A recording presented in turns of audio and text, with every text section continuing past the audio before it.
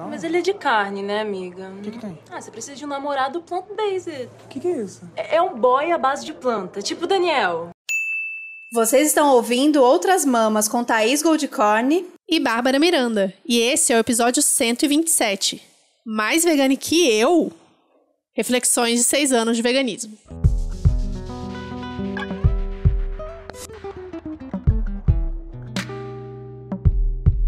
Esse ano, nós duas completamos seis anos de veganismo. No segundo se- Não, você agora no primeiro semestre e eu no segundo semestre, não é isso? Foi, Isso, foi logo, foi anos. janeiro ou fevereiro, foi bem no início do ano. É, o meu foi, no, foi outubro, dia 15 de outubro, tem a data certinha. Mas antes da gente começar a falar sobre esse tema específico, que são os seis anos de veganismo e todas as transformações que a gente passou ao longo desse tempo, vamos aos recados. Temos vários recadinhos para dar. Esse é o primeiro episódio do ano que estamos só nós duas conversando aqui com vocês. E a gente sabe que vocês adoram episódios com nós duas também, com convidados e com nós duas. Então, vamos aos recados, tá? Basicamente que vocês continuem acompanhando a gente aí em todas as, as mídias, as plataformas. A gente tem mais um ano aí lutado para conseguir estar presente em todos os lugares. Episódio passado a gente conversou muito com a Aline sobre isso, pra gente foi muito especial, a gente é muito fanzoca da Aline, espero que vocês tenham gostado também. Quem não ouviu, volta lá. Quem ainda não tá no nosso grupo do Telegram, entra lá no grupo do Telegram, que é- lá é uma forma é, que a gente não precisa é, lidar com o algoritmo, o que a gente fala, o que a gente conversa está sendo é, chegando 100% para todas as pessoas que estão no grupo. Se você está no início ou se você está pensando, lá é um grupo seguro e muito legal para isso também, porque rolam as discussões sobre essas relações, como lidar com o social, com família, enfim. Nosso convite aí para vocês participarem. E mais uma vez, mais um ano a gente conversando sobre a participação de vocês, né, na produção desse podcast junto com a gente. Então, é, participar financiando e financeiramente é uma das formas ativas de vocês estarem com a gente para fazer outras mamas possível. Ouvindo através da Orela é uma forma dessa contribuição, dessa remuneração vir direto para a gente.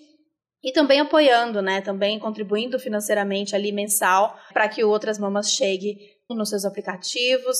E conta com vocês também se vocês virem pod- as podcasters locais de vocês fazendo publi. Sim, porque são quatro anos que a gente se esquiva, que a gente tenta pegar só projetos que a gente acredita muito, marcas pequenas, mas a gente precisa fazer esse projeto continuar de pé, não é nem mais crescer. Precisamos, claro, mas é o básico, a gente precisa se manter. Então, talvez rolem os projetos aí. É, Eu espero que vocês estejam junto com a gente. Vocês podem ficar 100% tranquilas e despreocupadas que é, a gente não vai fazer propaganda para Friboi, para Unilever, nada disso. É, mas talvez a gente tenha que ampliar um pouquinho mais. E, e a gente fala em, em crescer, mas é o crescer no sentido de chegar a outras pessoas que talvez não ouviriam um podcast feminista e vegano e de repente chegando em outros de outros jeitos, né? Chegando por outros caminhos, a gente consegue trocar essa ideia nossa sincera e gostosa com pessoas que talvez nunca, é, por iniciativa própria, dariam um play num podcast como o nosso. É, parafraseando aí Jade Picon, a gente quer estourar a nossa bolha. a gente está aqui, estamos expandindo os nossos horizo- horizontes para estourar a nossa bolha. E quem sabe chegar nela, por exemplo, né? Que é um influencer aí com uns 300 milhões de seguidores e que está crescendo cada vez mais. Chegar nessas pessoas que sabem mais ou menos o que é veganismo, mas ainda não estão muito inseridas, não entendem muito bem como funciona o movimento, os movimentos dentro do veganismo. E a gente está querendo expandir esse alcance, conversar com mais pessoas, ter mais disponibilidade, né, para estar junto de vocês pessoalmente ou online. Então, é, se você quer saber aonde nós estamos para vocês seguirem a gente mesmo, dar like nas coisas que a gente posta.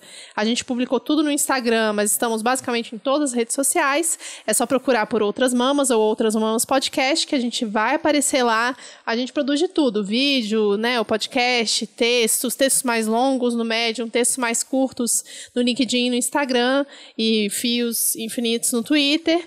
Então vocês podem seguir a gente em todas as redes sociais para ajudar Outras Mamas a crescer, além de apoiar financeiramente se você puder mesmo, como a Thaís falou, né? É muito importante esse apoio para que a gente possa se sustentar.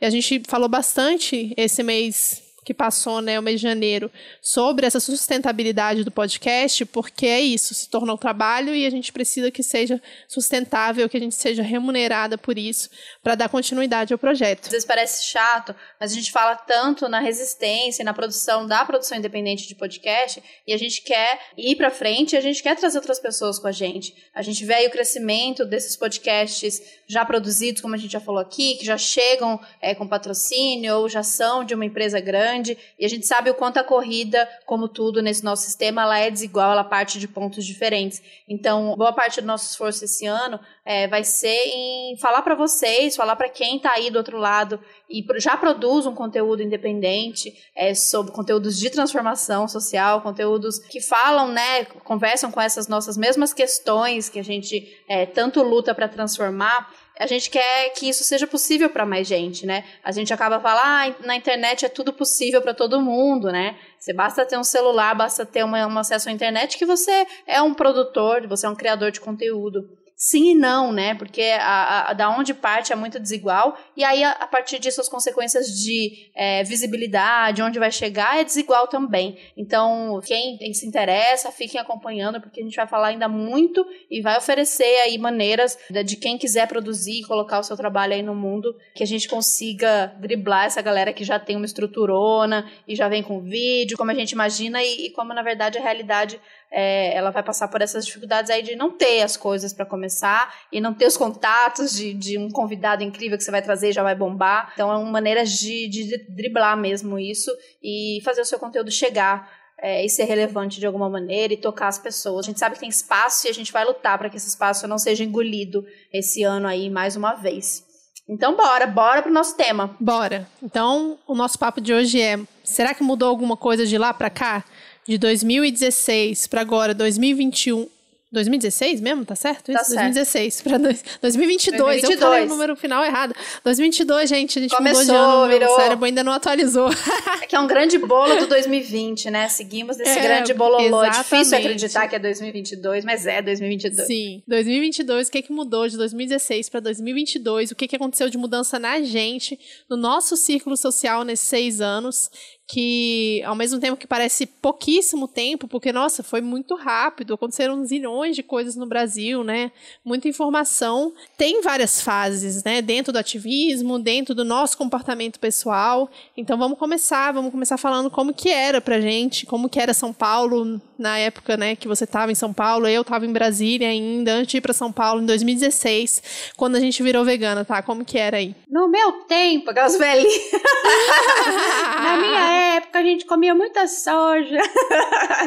é muita loucura falar isso, né? Porque eu sou do time, a gente é do time das veganas recentes, né? Até quando a gente ainda saía aqui em São Paulo, que a gente encontrava os, os velhos de guerra do veganismo, né? Os monstros, a gente falava, caramba, a galera viveu uma outra realidade, uma outra época que realmente é, não se falava sobre isso e, e falando em comida não tinha opção. É, e a gente veio dessa leva mais recente. Mas hoje a gente pode falar que a gente já consegue traçar assim, uma, uma, uma, um paralelo de uma diferença enorme do que era 2016, do que a gente encontrou quando a gente, Com tá, certeza. beleza, sou vegana, para onde eu vou, o que, que eu faço, quem são meus amigos, onde eu como, como vivo, é, do, do, cenário que eu encontrei quando eu decidi aquilo, né, logo, no, logo em janeiro é, de 2016, janeiro ou fevereiro de 2016, para agora. É, então, claro que muita coisa mudou na gente, mas eu queria falar da mudança, em primeiro lugar, que aconteceu mesmo na realidade das comidas. Aí vamos falar do mercado, né, porque isso é a primeira coisa que, no geral, se a gente fala de um veganismo que é o veganismo que, que, que tá na boca das pessoas, vamos dizer, um veganismo liberal, mas também o veganismo que é, é o individual, no sentido de quando você se torna vegana, é a sua primeira preocupação, né? Porque a gente come muito, e a gente come o tempo todo, e comer é importante, e comer é social, e comer é saúde. Então, é a primeira grande preocupação, geralmente. E nesses anos, posso dizer que nesses anos todos aí, a mudança de quantidade de restaurantes em São Paulo é, e no interior também, e agora eu tô aqui no litoral, no litoral também, posso dizer a mudança em relação à quantidade de restaurantes e opções veganas. Eu acho que tinha uma coisa de falta de conhecer também, né? Ter os macetes, conhecer aquele lugar escondidinho, conhecer aquele lugar que não é um lugar, ah, esse lugar é vegan e tem lá um nomezinho vegan, mas que faz uma comida é, massa, sem nada de origem animal pra gente. Você vai pegando os macetes, vai conhecendo. Mas, assim, numa, numa associação fácil, é, abrir um, um aplicativo da vida que nem tinha, né?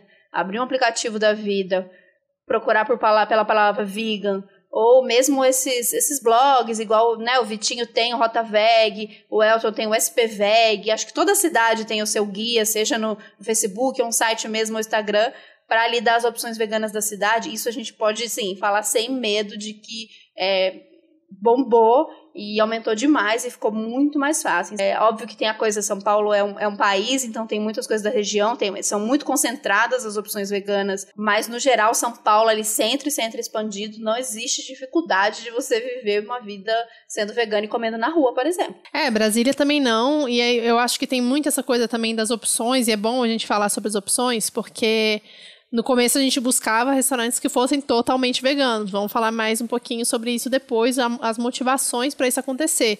Mas eu acho que por, enfim, toda uma um, uma propaganda e verde, né, de consciência ambiental e por questões nutricionais, cada vez mais pessoas falando sobre intolerância à lactose, intolerância a, sei lá o que, gordura animal, não sei, que as pessoas têm uma preocupação maior com a saúde, né? A gente tem várias blogueiras fitness aí com todo um padrão de beleza muito estabelecido, muito focado na alimentação, low carb, não sei o que, blá blá blá. Todos os restaurantes hoje em dia, né? A maioria dos restaurantes tem opções, ou pelo menos se você perguntar, eles vão saber se tem uma comida vegana ou não. Antes, em 2016, as pessoas não faziam ideia, assim, a maioria dos restaurantes não faziam ideia. Então, tinham restaurantes que tinham opção, mas as pessoas não sabiam. E tinha os restaurantes que não tinham opção ou os restaurantes veganos, que eram bem menos. E aqui eu posso até dizer que tem bastante sorte em Brasília, que eu acho que tinha bastante opção, inclusive mais opção do que no Rio, em São, no Rio, São Paulo não, nunca vai ser maior que São Paulo, mas no Rio, em BH, por exemplo, que são cidades maiores que Brasília, e aqui tinha bastante opção, e hoje em dia tem cada vez mais, inclusive na periferia, Taguatinga, Águas Claras, Sobradinho, todos têm opções bem interessantes que a gente vê o pessoal compartilhando ou pede, né? Inclusive, meu hambúrguer preferido de Brasília só tinha em Taguatinga. E não chegava na minha casa, mas aí abriu Maravilhoso demais. Ai, quero provar, quero provar.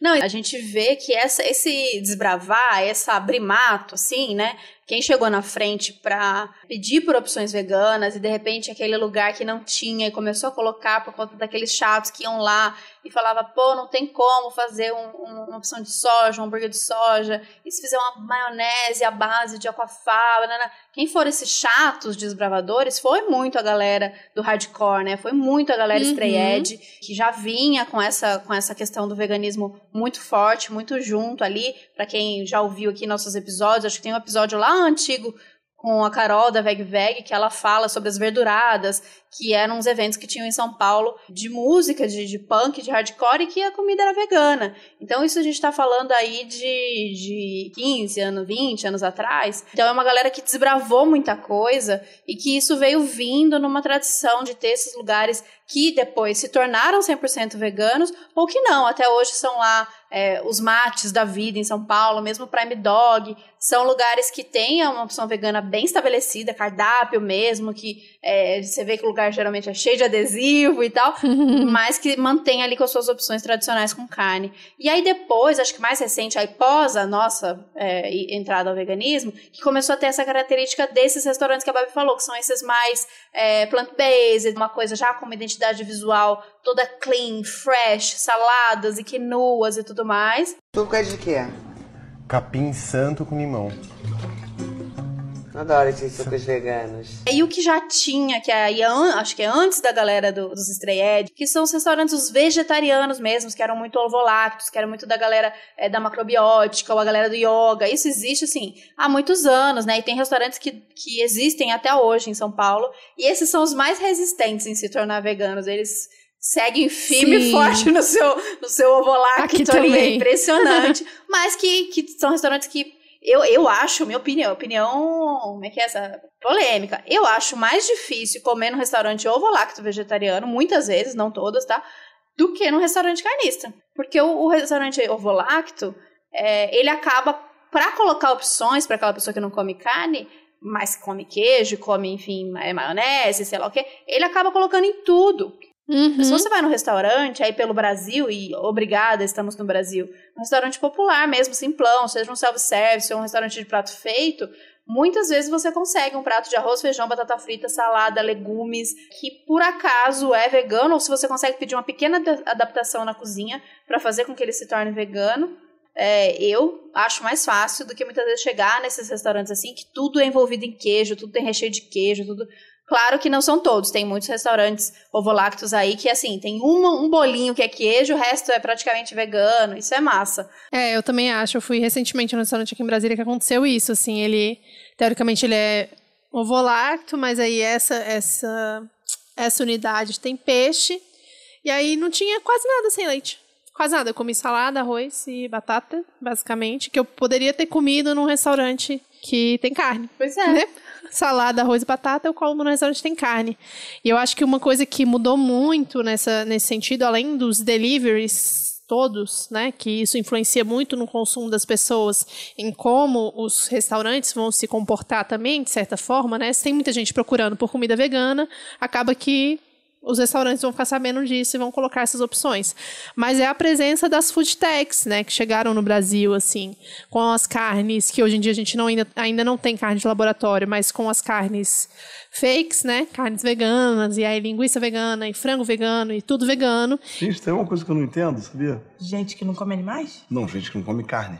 Você tá comendo um animal. Não, tô comendo carne. E isso deu uma mudada bem grande também, porque muita gente que só sabia cozinhar de certa forma, com certos ingredientes, acabou implementando isso nos seus restaurantes, né? E as pessoas também começaram a fazer isso e dar muita atenção para isso. A mídia, principalmente, deu muita atenção para isso, muito mais, inclusive, do que nós veganos, né? É o que a gente fala aqui sempre sobre a importância e a diferença do veganismo político para o liberal, porque quando a gente fala dessas food techs, quando a gente fala de marcas que lançam produtos, o, o argumento do veganismo liberal é que, olha, a gente vai facilitar a vida das cozinhas, dos restaurantes, é, dos refeitórios, porque é difícil a gente chegar num refeitório que já tem um esquema de comprar tudo meio pronto e dizer, ó, oh, agora você vai fazer a maionese e para aquela realidade, muitas vezes aquilo não vai funcionar. E daí, se eu disser que existe uma empresa que fornece, que você vai só ligar, encomendar, quando você encomenda a maionese convencional, você vai encomendar a maionese vegana, parece fazer sentido, né? Parece ser atrativo. Mas a gente esbarra em tantas outras coisas. Um, preço. Dois, a gente esbarra numa, em rodar num, numa roda que volta para o mesmo lugar. Então tá, a gente começou de um ponto que a gente descobriu a exploração, e a partir da exploração a gente se negou a fazer parte, a gente resolveu propor e, e ousar viver de uma maneira é, que não fizesse parte daquilo, e aí a gente começou no movimento de voltar e preparar os próprios alimentos. É claro que a gente sabe todo sobre a questão do tempo, né? Mas é, eu, eu vivi isso e eu vejo muita gente vivendo isso, das maravilhas de descobrir quantas coisas você pode fazer em casa, simplificando ou testando e tal. E aí, tá, vamos lá, voltar na roda de novo que eu tava falando do, do veganismo liberal. Mas aí vem uma empresa, que é pra, muitas vezes a mesma empresa, que aquela que a gente se negou por conta da exploração, e fala: não, tá, vocês não querem essa aqui com ovo? Beleza, eu vou te fornecer essa aqui sem ovo. E aí é o mesmo processo de exploração, é o mesmo processo de enxergar a comida como produto e aí oferecer uma opção de venda e essa empresa, seja um refeitório, seja um restaurante, vai entrar e comprar aquilo como compra, compra 10 unidades de caixas com maionese com ovo e compra 10 unidades de caixas de maionese sem ovo. Então a gente quer conversar assim o quanto o quanto isso tem impacto, né? A gente está falando em impacto, a gente está falando em mudança. A mudança, ela tá na, na consciência daquela pessoa vegana que foi no restaurante, está comendo uma maionese sem ovo, o impacto está realmente na, lá no final, na exploração nos animais. Então é, é uma coisa para se pensar que não é do tipo não comam, é proibido. Mas também é questionar se, gente, se às vezes a gente não está fazendo um malabarismo e dando a volta na gente mesmo e chegando no mesmo ponto que a gente começou criticando. Né? Sim, com certeza. Falando de impacto, né, tá, que você falou, a gente teve aí também não só uma mudança na alimentação, na forma das pessoas verem a alimentação, na forma como a mídia trata a alimentação, mas na forma como a mídia trata e vê o agro também, né, que é o principal é, problema que a gente tem hoje em dia no Brasil, um dos principais problemas que a gente tem no Brasil, e que a gente está aí numa história nesses últimos anos que a gente teve de veganismo, de um grande apagamento de dados. A gente simplesmente foi pesquisar e não consegue achar os dados direito de quanto realmente foi o desmatamento, de quanto foi desmatado pelo agro, quanto de. A gente vê exportação, né? Números de exportação, mas a gente não vê o quanto realmente essa criação de gado, de soja para exportação está afetando no meio ambiente. Os dados eles estão sendo jogados aí. A gente teve o Salles como ministro do governo Bolsonaro, que simplesmente destruiu, né? E a gente sabe que continua também sendo destruído, tanto a Amazônia quanto o Cerrado, vários biomas muito importantes aí, principalmente para a manutenção da atividade agropecuária, né? E a Globo lá, metendo a propaganda ainda, falando bem do agro, todo mundo aplaudindo. Como é que é mesmo o nome do jornal, gente? Qual que é o jornal dos, dos pecuaristas? O Jornal dos Pecuaristas? Tem, passa domingo de manhã, pô. Ah, o Globo Rural. Globo Rural, esqueci, me deu um branco aqui, gente. é, o Globo Rural aí passando, fazendo propaganda do agro como se não fosse um grande problema, assim. É o último, por acaso eu vi, sei lá o que eu tava fazendo, que eu vi um pedaço do Globo Rural outro dia, e tava falando sobre os problemas da chuva no Brasil, entrevistando as pessoas que perderam casa tal, não sei o quê, sem falar os, realmente os, os, os, fatos. Por que, que isso se dá? Por que, que as chuvas estão acontecendo? Por que está alagando tudo? E não é só a, a pecuária, claro, temos aí a mineração também para juntar a esses fatos, mas a gente tem esse, essa grande mudança que aconteceu nesses últimos anos, que eu acho que também levantaram um pouco mais, meio que minimamente, a questão do veganismo, né? A gente falou muito sobre isso nos, nos, dois episódios com a Juliana Gomes. Então, o último que a gente gravou com ela foi 81, o Jornal do Veneno. A gente citou, falamos sobre esse problema também no Não Deixe o Cerrado Morrer, que é o episódio 53.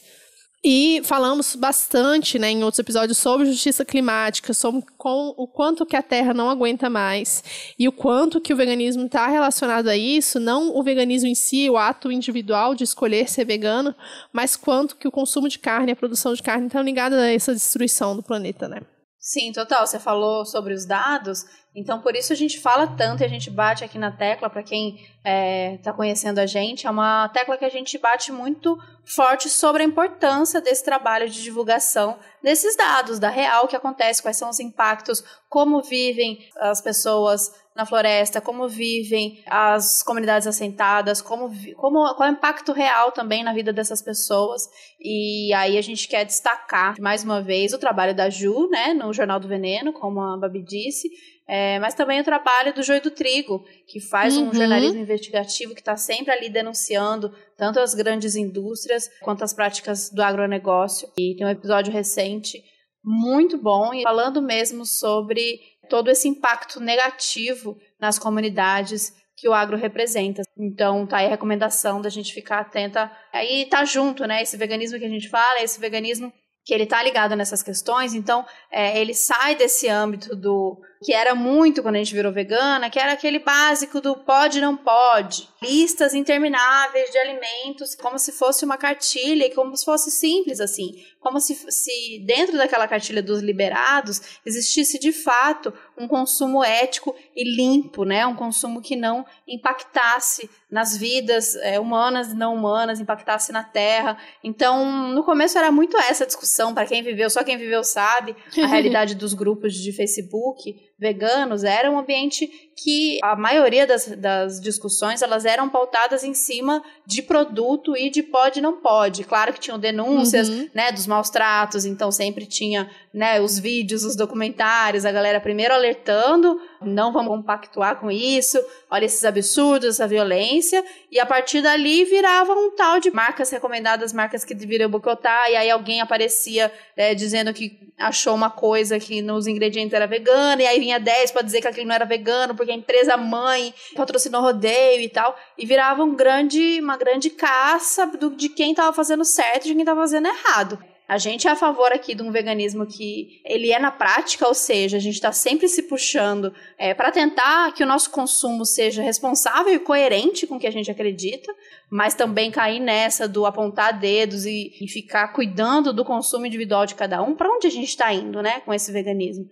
É, é uma pergunta que a gente sempre se faz e é uma investigação que a gente vai continuar fazendo, do tipo, para onde vai o veganismo, né? Como, é, quais são os desdobramentos desse veganismo que cuida do consumo individual e da culpa, né? E do apontamento uhum. de dedo e da culpa do tipo, você consumiu isso, você não é vegano, você não está fazendo direito, então o vegano certo e o vegano errado. É, e nessa do vegano certo e vegano errado, a gente viu o desdobramento do veganismo que a gente já chegou no veganismo existindo mais de um tipo de veganismo e a gente não sabia. Mas ele parece que ao longo dos anos ele foi se desdobrando e aparecendo mais desdobramentos ainda. Eu nem sei quantos veganismos a gente pode enumerar aqui. Né? Então a gente sempre fala do veganismo liberal, que é, obviamente, quem a gente mais ataca. Não que as pessoas não sejam veganas, mas a gente só diz que não é muito efetivo a longo prazo. é muito sobre o consumo individual, né? Um veganismo liberal, diferente do veganismo político, popular, e diferente do veganismo abolicionista, né? Eu acho que principalmente no começo, quando tinham os grupos do Facebook, eu peguei o finalzinho dos grupos do Facebook, era muito isso do pode, não pode, nesse sentido de tipo, ou é tudo ou é nada, né? Que é o que o veganismo abolicionista propõe, assim, ou é tudo ou é nada, e se você não tá no tudo, você não é nada. Basicamente isso, que é, que é o que essa galera prega, assim. Então, por mais que a gente esteja aqui disputando uma narrativa do veganismo, qual é o melhor veganismo, qual seria o melhor veganismo, é, a gente não está aqui para apontar o dedo para as pessoas e dizer quem não é vegano ou quem não é, mas para mostrar que o veganismo não é somente sobre o que você come, o que você consome, compra, ou somente sobre é, os animais, porque estamos num sistema que os animais fazem parte dele, né? E aí eu quero indicar para quem não ouviu, Houve o episódio 67, O Veganismo Não É Tudo, e o 118, que deu muita polêmica, que é Como Não Ser um Vegano Babaca. A gente nunca foi tão xingado nessa vida quanto neste episódio. Ai, Nos comentários demais, redes né? sociais. Gostou demais, hate, né? Gostoso demais. Estar, estar na internet é gostoso demais. Receber esse carinho é muito bom.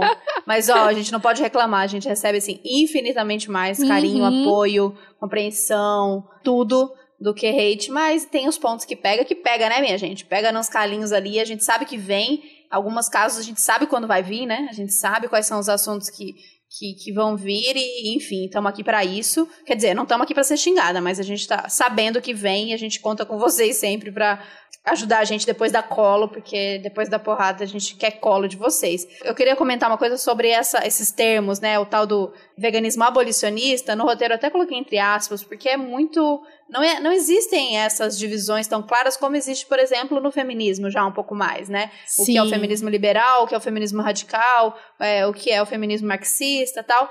Mas no veganismo, que é mais recente, é ainda mais confuso, então não existe. As pessoas vão se autodeclarando, ou é, o grupo que discorda aponta o dedo e diz que é um veganismo liberal. Às vezes o próprio grupo aceita o termo, às vezes não. Mas é- a questão é dizer sobre o seu próprio, a sua própria luta, né? Como você quer denominar a sua luta e quem tá junto com você, quem são seus aliados nesse processo. Em relação ao abolicionista, todo veganismo é abolicionista, né? Ou Uhum. deveria ser. Porque se a gente está falando em ab- abolição do quê, né? A gente está falando em abolição da exploração animal. Então, né, na prática, todo veganismo deveria ser abolicionista. Mas acabou ficando esse nome porque era um grupo que se dizia mais, mais vegano do que eu, entendeu? Porque era um grupo é, purista. E as ações, as ações diretas que esses grupos fazem, são ações que, que hoje eu não apoio nem um pouco, que são aquelas ações é, violentas, violentas no sentido assim de chocantes mesmo, pesadas, daquela coisa de fazer ação é, molhando com tinta de sangue e mostrando aquela coisa tal. Eu não sei realmente o quanto essa estratégia ela é interessante. Eu acho que pode ter momentos que tem gente que se pega, né? Porque realmente o que acontece com os animais, o que acontece na indústria, ela é de fato muito pesada e muito chocante. Eu acho que muita gente, muita gente pode, a partir de uma ação dessa, né, entender o que acontece, ou ficar curiosa com o que acontece e pesquisar, mas eu não, de verdade, assim, hoje em dia eu não sei o quão efetiva é essa luta descolada é, de outras coisas que acontecem, né? A gente não vive, tanto eu aqui no meu consumo individual, na minha existência, quanto a gente num, num grupo, né, numa organização, numa ONG, num coletivo, é, a gente não consegue abarcar e não consegue se deslocar de todas as camadas que existem na nossa sociedade, de, de, de onde a gente está falando, né? Quais são as realidades diferentes. Alimentação, por exemplo, nunca vai ser uma pauta isolada. Não dá pra gente falar sobre escolha, especialmente no Brasil. Não dá pra gente falar sobre se você quer, você pode, você consegue. É uma questão de, de escolher. Então, depois que você viu a crueldade, como você não escolhe ser vegano? A gente é, já ouviu tantas pessoas diversas aqui neste podcast, a gente é, sabe que qualquer pessoa pode ser vegana, ponto. Mas da, daí a dizer que qualquer pessoa consegue ser vegana naquele espaço-tempo que a partir do momento que você apresentou o problema para ela, aquilo vai acontecer, isso é de uma de uma ingenuidade, de uma falta de noção da realidade tremenda, assim. Então, o que a gente quer construir é que é, primeiro a possibilidade das pessoas comerem e poderem escolher o que elas vão comer e poderem fazer escolhas é, mais saudáveis, escolhas para manutenção mesmo daquele corpo, né? Mas também do, de tudo em volta, que o processo todo seja saudável. Mas a gente sabe que essa é uma caminhada que ela não é sozinha e ela não é só do veganismo e não olhando para todas essas outras questões da indústria mesmo. O que, que a gente está querendo resolver, né? Você está querendo dizer que, de fato, aquele ato daquela pessoa que tirou o bife de vaca e colocou o bife de plantas, de fato influenciou na vida daquela vaca e aquela vaca é, deixou de ser morta. A gente está dizendo sobre uma dinâmica que vai mudar a partir dali, e aí as empresas vão perceber que o interesse das pessoas é comer hambúrguer de planta e elas vão deixar de explorar vacas. Gostaria que fosse simples assim, mas a gente sabe que a indústria oferece pra gente é, não é apenas o que a gente demanda, né? É o que ela quer enfiar, é o que é sobra, então ela precisa dar um jeito de escoar, especialmente para é, populações mais vulneráveis ou para países periféricos e, e onde está interessante é, vender, que está mais lucrativo. É assim que funciona. Então, é, pegar a ponta né, desse sistema todo, que é a gente, que é o consumidor, e dizer que a partir da nossa mudança, a gente vai caminhar todas essas etapas, e a gente vai viver numa linda e plena harmonia, nós, indústria, é, é, eu não sei se a palavra é ingenuidade, é, qual é, mas a gente aqui não acredita dessa maneira. A gente precisa que precisa ver uma transformação geral de todas essas etapas. Eu não quero grande indústria, essas é, corporações, o que tem a ver? Não quero saber, não quero que ela mude, eu quero que ela não exista. Então, a partir daí, a gente tem que pensar é, o quanto essas mudanças individuais têm que caminhar junto com outros processos para que a gente chegue num consumo mais justo, né? Que, to que todos se alimentem e que ninguém seja explorado ou que a gente consiga reduzir essa exploração ao máximo nesse processo. E eu acho que é importante a gente entender também que esse, esse apontamento né, de dedo de quem é mais vegano no rolê, ele dificulta muito, inclusive, a gente entender como a gente é agente transformador, né? Porque a gente só consegue, como a gente falou no episódio passado, mudar aquilo que está primeiro mudar a gente individualmente e mudar aquilo que está ao nosso redor. E mesmo assim é muito difícil. Então, é, a gente não consegue mudar outras pessoas. Por mais frustrante que seja, essa é uma coisa que a gente demora a aprender. A gente já falou também em vários episódios aqui, né? Na Ovelha Verde do Rolê, no, que é foi o episódio 79, o 92, que é vegana, mas chama as outras de vaca. É, teve um. Eu acho que logo no nosso primeiro ano também a gente fez uma live, né? Com a Gabi, falando sobre Natal, como que era o relacionamento com a família. E tudo isso foi mudando ao longo dos anos, porque a gente foi entendendo que a nossa relação com as pessoas e a forma como a gente se relaciona com as pessoas tem uma capacidade de mudar muito mais, a, a, inclusive a nós mesmos, do que de fato transformar as pessoas em veganas. Né? Então a gente está aqui falando sobre veganismo no podcast porque a gente sabe que a gente tem a capacidade de alcançar muitas pessoas com o nosso podcast. Mas isso não quer dizer necessariamente que todas as pessoas à nossa volta vão mudar imediatamente, vão virar veganas, como muitas de vocês que estão ouvindo a gente fizeram. E isso muda muito a nossa relação com o mundo, né? Ver essa transformação, como que foi para você, tá? Essa transformação individual com relação a outras pessoas ao seu redor, não outros veganos, porque a gente tem essa ilusão de que os veganos são tudo amiga, mentira, né? Porque a gente já falou Ih, aqui, não tem. Mentira, poucos amigos veganos. Hoje em dia são poucos. Não, Mas são poucos amigos bom, ponto, né? Poucos, poucos amigos, amigos ponto. 30 mais fica mais difícil. Realmente, é. essa questão de ah, é tem essa identificação, né? É vegano, vamos ser amigo. Mesmo dentro, né, do, do, dessas poucas pessoas é, que são veganas e que são estão é, do mesmo lado de luta que seu, anticapitalistas e tal, a gente tem que construir essas relações como todas as relações que a gente constrói, que às vezes vai dar bom, às vezes não vai dar bom. Mas, é, para mim, o que mudou bastante quando eu me tornei vegana, em 2016, primeiro eu fiz esse movimento muito rápido de quero fazer amigos veganos, e eu, fiz, eu já contei essa história no podcast algumas vezes que eu fiz um, um grupo de amigos através de grupo de Facebook. E acho massa no episódio também que a gente tem com a Thalita e com o Juan, eles contam do Uhum. processo deles também de começo Sim. dessa coisa de vegano, logo que vira vegano, você logo já se juntar pra fazer um piquenique. Uhum. E isso é muito legal, isso é muito bonito, né? Quem faz isso, né, hoje em dia? É muito raro você, é, por alguma identificação, você montar um. Organizar um piquenique com pessoas que já não são seus amigos, né? Não é a turma do trabalho, não é a turma da escola, da faculdade. é, mas acho que de primeira tinha mais essa ingenuidade de que essas relações elas iam acontecer mais naturalmente é, por conta desse momento que a gente estava passando juntos, de, de enxergar é, o mundo dessa mesma maneira, né? Então tinha essa, esse um pouco de desespero de querer fazer essas amizades. E em relação às pessoas não veganas, tinha um desespero de querer veganizar todo mundo, assim. Tinha essa... Eu tinha uma certeza que assim que eu explicasse para os meus pais, para minhas amigas, Venceu os animais, ganhou os animais. Outra gente comeu os animais. Eles morrem. todas elas iam virar veganas. Eu não tinha nenhuma dúvida disso. Que eu falei, bom, eu passei 30 anos da minha vida não sabendo de nada disso. A partir do momento que eu assisti os documentários e que eu fui ler e eu descobri que é assim, eu me tornei vegana. Então, logo, se eu explicar pra elas, se eu indicar os textos, os documentários, os grupos, todo mundo vai virar vegana. E não aconteceu. Até hoje, seis anos depois, eu não tenho nenhuma amiga. Eu tenho algumas amigas que se tornaram ovo-lacto, vegetariana. Tá bom, algumas pessoas, mas assim, pessoas do trabalho, colegas, que inspiradas em mim se tornaram veganas, mas do meu núcleo duro mesmo, as amigas mais próximas e, e família, ninguém. E aquilo foi dando uma frustração de primeira, é, mas depois eu fui entendendo isso que a Babi falou, que são esses processos diferentes e que é, não é que hoje em dia eu acho, ah, elas fazem, sei lá, são pessoas que fazem a outra luta, outra, as lutas delas, tudo bem não serem veganas. Não, continuo achando que deveriam ser. Isso não muda, mas isso não aconteceu. E no começo eu era muito mais radical no sentido de,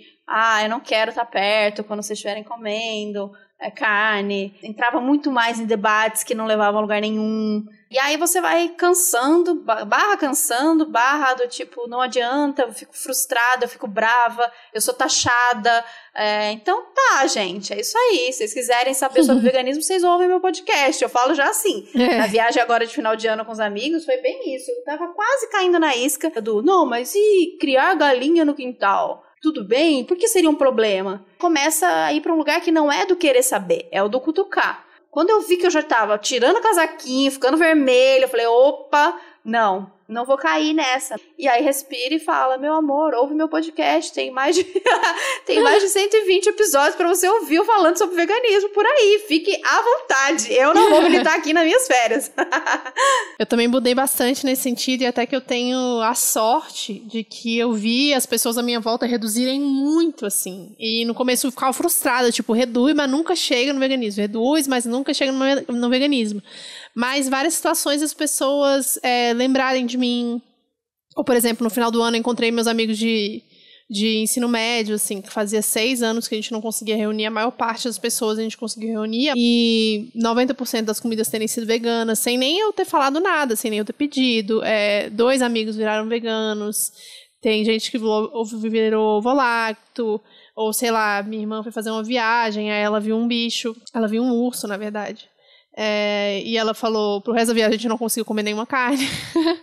Eu já, eu já fico aliviada, que eu falei, sabe? Então tá, tem, tem alguma mudança, alguma coisinha ali. E eu sei que muitas vezes as pessoas não querem não querem mexer nessa parte do consumo, porque querendo ou não, é uma parte do consumo que afeta muito o dia a dia das pessoas, né? Da mesma forma que algumas pessoas não vão querer ligar para o lixo, não vão querer ligar para a questão de um transporte de forma mais sustentável. Não, é nem querer, na verdade, é nem poder também, né? Mas estou falando do nosso círculo social, que tem um poder de escolha de consumo.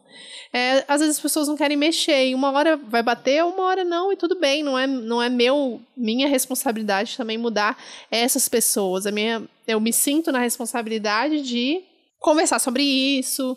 Se me perguntarem, eu vou responder, ou mandar ouvir podcast, criar conteúdo aqui toda semana. Façam um podcast pra vocês usarem na mesma estratégia da gente. Quando começar a encher o saco, você fala, ouve meu podcast, meu amor. Exatamente. Agora eu tô, tô, tô de folga. É, então colocar no, sei lá, colocar, mostrar meu dia a dia, mostrar o quanto que vários aspectos da minha vida mudaram, né? Não necessariamente para melhor, mas mudaram e que minha minha consciência com relação a tudo, assim, com relação a todos os problemas. Hoje em dia No começo parecia que era sempre muita informação, né, tá? Assim, de tipo, meu Deus, tá tudo interligado. É tudo um grande problema. Se tá tudo interligado, é um problemão aí que a gente nunca vai resolver, né? E é um peso muito grande você carregar com isso com você o tempo inteiro, assim, cada livro que você lê, cada documentário que você assiste, parece que vai pesando mais e vai ficando mais pesado e você fala, meu Deus, o mundo vai acabar e as pessoas estão aí vivendo. E a partir do momento que você entende que isso não, não necessariamente precisa ser um peso, no sentido de, tipo, você, como indivíduo, não precisa carregar esse peso nas suas costas individualmente, porque se, tá, se é um problema geral, tá todo mundo vivendo com esse problema, algumas pessoas mais do que outras, obviamente por desigualdade social mesmo, de gênero, de raça, etc. Mas eu acho que fica mais simples de entender, né? Também. Tira esse peso do é, meu Deus, eu não vou conseguir resolver tudo sozinho, que é um pouco também do, de como a gente lida, quando a gente é, se coloca aí meio que à disposição, é, seja da militância, seja uma consciência mesmo de fazer uma transformação no mundo, a gente cai numa mesma lógica, que é a lógica capitalista de que eu preciso resolver essa tarefa. E não é assim que a gente vai fazer, a lógica é outra, é, o jeito que a gente vai construir essas alternativas já tem que passar por aí. Então, por isso que o veganismo, eu, eu sempre vou, vou falar é, seja o nome que a gente for dar para isso, se, sei lá, um dia eu parar de chamar isso que, que eu acredito de veganismo, eu acho sempre muito foda, porque é, é o, o, colocar na prática aquilo que a gente quer viver. Então, como é que eu quero falar em uma sociedade emancipada? Como é que eu quero falar em liberdade, cooperação, em empatia, se eu não coloco isso na minha prática? A gente sabe que muitas dificuldades, como o Bibi falou, é uma escolha de consumo, é uma escolha de convivência. Acho que hoje em dia eu consigo classificar que é, a maioria das pessoas elas falam que os motivos que elas não são veganas é porque um ah, eu amo um bife. Dois, eu amo um queijinho. Elas vão na comida. E quando, na verdade, eu tenho certeza, porque eu falo por mim e observo isso nas pessoas. O mais difícil é você assumir uma posição contrária à norma. E isso vai, ter, vai ser sempre uma energia extra de você lidar. Então, hoje, eu lido com a maioria das, das situações com muita naturalidade, e muito parte de eu lidar com naturalidade é eu ter me cercado de pessoas veganas também. Mas se você vai num restaurante, se você vai no almoço de família, no Natal, todas essas convenções, o, a, o churrasco com os amigos e tal, você vai lidar com situações, expressões especistas, ou falar do tipo montar cavalo, sei lá, qualquer coisa que para você já ali já pareça absurdo. Ah, eu vou levar nossas crianças no zoológico. Aquilo você já se arrepia inteira. E aí você já que, ah, é pronto. Lá vem a pessoa que vai abrir a boca para dizer que o meu comportamento que eu faço desde sempre, porque eu nasci fazendo isso, minha mãe fazia isso, minha avó fazia isso, vai querer dizer que está errado. Então o veganismo é uma das, né? Existem outras. A gente, quanto feminista, é, não comparando o veganismo, né? Claro, com a, com a luta, é, seja a luta feminista, ou a luta das pessoas trans, ou a luta do movimento negro, porque ele tem essa grande diferença, né? Que a gente é uma escolha que a gente fez de assumir uma luta por outro, por um outro grupo, que no caso são os animais, que, né, não podem entrar nessa luta desse, dessa maneira. Então, é, existe uma escolha. Se a partir de amanhã eu cansar e falar, ai, gente, cansei, não vou ser mais vegana, eu posso. E enquanto uma pessoa negra e né, a gente enquanto mulher, a gente não pode dizer amanhã cansei dessa luta. Essa luta ela ela tá tá na gente, né? Tá tá na nossa existência. É, mas é muito cansativo sempre. Esse, esse embate ele é muito cansativo. Mesmo que você não milite, mesmo que você não fale nada. Mas você vai chegar lá e o seu prato vai ser diferente, e aí, a partir dali já pode ou não começar uma discussão sobre isso. Isso tudo não é para dizer, para desestimular vocês. Venham, venham pro lado cansativo. Mas é porque existe uma, uma recompensa, né? Que, que ninguém fala. Então, se tudo é na base da recompensa, existe uma recompensa que é a certeza de que a gente está desenhando o mundo do jeito que a gente quer viver. Então a influência da Babi na minha vida fez com que eu enxergasse um outro ponto e a gente arrumasse uma estratégia juntas, coletivamente, em outras mamas. Entendeu? A gente vai construindo isso sem muito guia, sem muita aquele decalque que você vai por cima, sem. Mas que é tão bonito que a gente consiga fazer isso junto, e mais do que bonito, é tão importante que a gente consiga fazer isso, se a gente está falando da nossa sobrevivência, de continuar é, vivendo aqui e que seja de uma maneira é, mais gostosa, mais leve, menos violenta. É isso, gente. É isso que a gente tinha para falar. Esses erros e acertos, tudo que a gente passou, todas as dificuldades, todas as conquistas que a gente teve, porque também foram muitas conquistas. Tudo que a gente sentiu ao longo desse processo de seis anos de veganismo e como que a gente vê o veganismo hoje em dia, eu tenho certeza absoluta que a gente ainda vai mudar muito, porque né, a gente se relaciona com as pessoas e as, a forma como a gente está no mundo é através dos relacionamentos, então a gente precisa realmente repensar tudo, não só a forma como a gente se relaciona com os animais, mas com as outras pessoas, como a Thais falou. Então, vamos aí para mais um ano, né? Mais um ano de veganismo, mais um ano de outras mamas. Agora, né, que abrimos os trabalhos aqui e vamos seguir juntos construindo esse, esse futuro possível e esse futuro que a gente possa almejar aí uma liberdade para todo mundo, né? É isso. Eu vou pedir um favor para vocês que vocês interajam pra gente, que eu quero muito ouvir vocês, especialmente as que já são veganas, os veganes aí, quanto tempo de veganismo e qual foram essas mudanças que vocês sentiram também, tanto na cidade de vocês, no mundo, quanto em vocês mesmos, nas suas percepções. Interage com a gente, seja nas postagens no Instagram, no Twitter, no grupo do Telegram, ou se quiser mandar aquele textão, aquele desabafo gostoso, pode mandar por e-mail que a gente lê. Nem sempre a gente consegue responder ali a tempo, mas a gente está sempre de olho em vocês pra gente trocar. Isso. Obrigada, Obrigada. gente. Até semana que vem.